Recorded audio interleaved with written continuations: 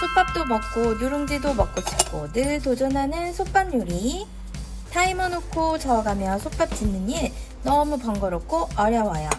늘 이렇게 넘쳐 흘러 치워가며 요리하는 거 저는 진짜 번거로운데 저에게 꿀템이 도착했어요. 옛날 가마솥의 구조와 기능을 완벽하게 재현한 다오콕 누룽지 돌솥 전기밥솥.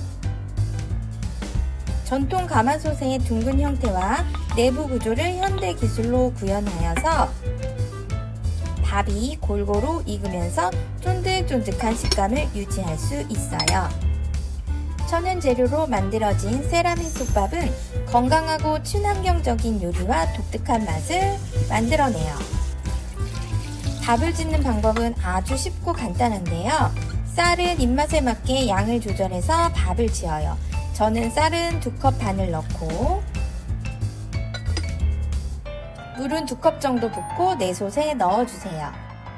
전원 버튼을 5초 정도 꾹 눌러주어 켜고 메뉴를 선택해요. 솥밥부터 누룽지, 숭늉, 영양밥까지 다양하게 요리를 할 수 있어요. 저는 솥밥을 지어볼게요. 불 조절 필요 없이 버튼만 누르고 기다리면 끝나니까 진짜 편하고 쉬워요.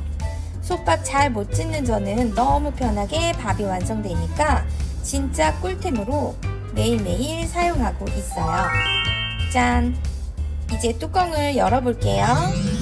이중 누름돌로 밥이 더 맛있게 지어지네요.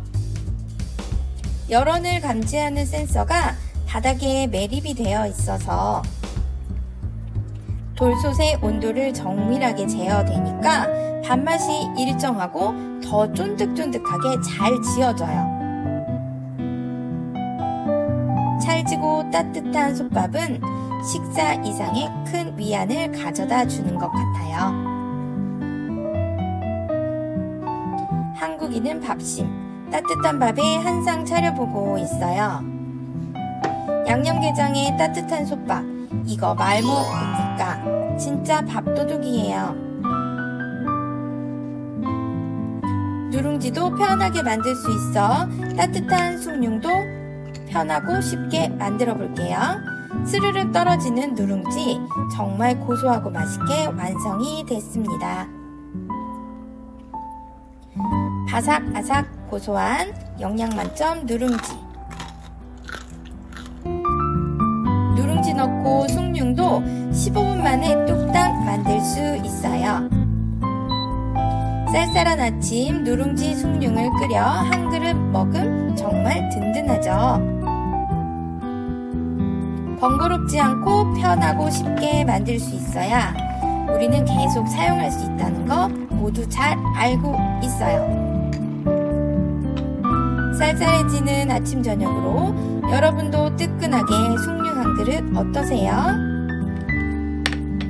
다오콕 누룽지 돌솥 전기밥솥으로 여러분도 편하고 쉽게 돌솥밥을 즐겨보시길 강력 추천할게요.